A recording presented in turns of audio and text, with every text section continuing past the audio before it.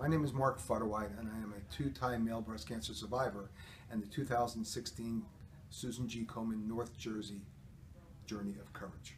A portion of the funds raised by Komen North Jersey helps support national research initiatives that are striving to find the cures to end breast cancer forever.